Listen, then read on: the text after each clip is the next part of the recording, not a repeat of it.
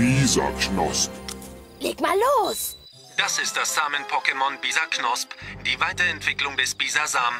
Der Samen auf dem Rücken absorbiert Nahrung und wächst zu einer großen Blume heran.